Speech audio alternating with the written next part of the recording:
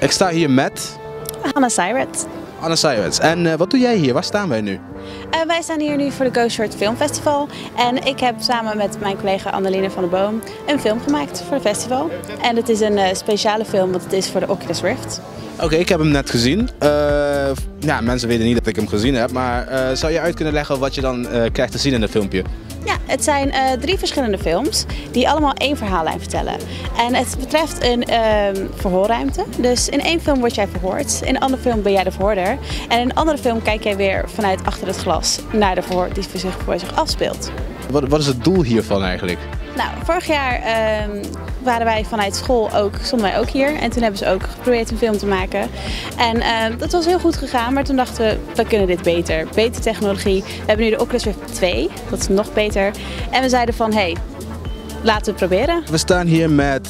Anneline van den Boom. Anneline van den Boom. Uh, jij bent technical producer. Yes. Uh, wat houdt dat in? Uh, nou, eigenlijk zijn Han en ik beide producers geweest van deze nieuwe 360 graden filmervaring. En we hebben het wel een beetje verdeeld. Dus Han heeft zich vooral gefocust op de acteurs, de locatie regelen. En ik heb uitgevogeld hoe we het überhaupt gingen filmen.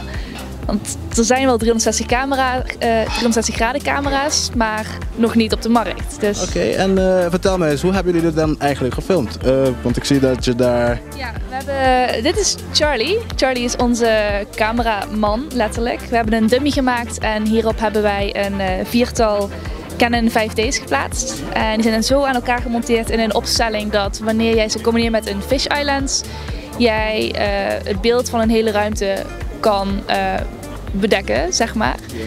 En in postproductie, in postproductie voeg je dan die beelden samen. Dan maak je één panoramafoto van. En dat gooi je dan door het editprogramma. En die neemt die panorama over.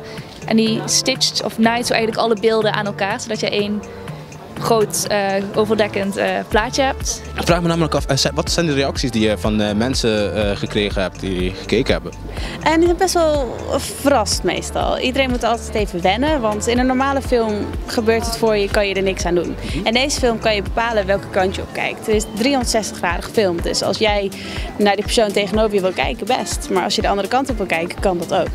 Dus iedereen moet eerst even aan wennen en daarna zeggen ze van ja, het is wel interessant, wel leuk, een andere technologie. Oké, okay, en uh, wat vond je nou namelijk een challenge uh, aan dit opdracht?